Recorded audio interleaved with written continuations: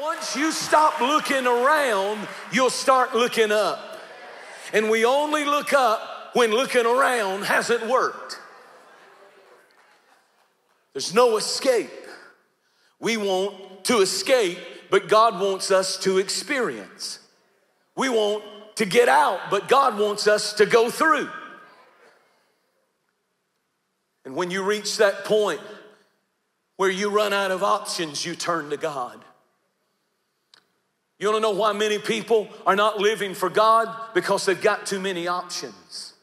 The world offers you options.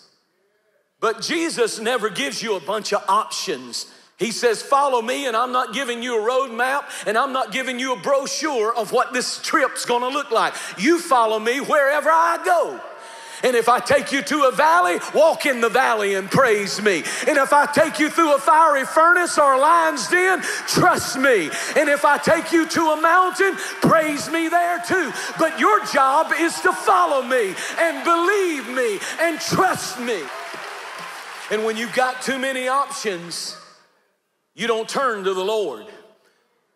And I hate to tell somebody, but you might in 2020 run out of options because somebody's been fasting and praying for you and the party's gonna dry up and the fun is gonna run out and you're gonna hit a place of desperation.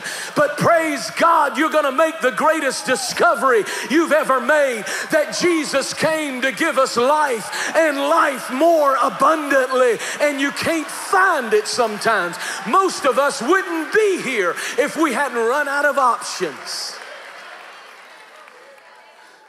These programs we support, like the Dream Center and like New Beginnings and all these ministries and these homes that we build for these ladies in our church that were in the nine o'clock service, and they they they they stood up and started screaming when I made this point. I said most of those people in those addiction programs wouldn't be there. They're not there because they just really got hungry for God. They ran out of options. They were either going to prison or going into a program where they heard about Jesus 24 hours a day. People laid hands on them and broke the power of Satan off of them and restored their families. And maybe you're in an addiction. Maybe you can't quit the alcohol and the drugs, but I serve the one who is able to set you free. Call on him. You've tried this, you've tried that, but Jesus is the answer. You hear me preaching out there. Jesus is the answer.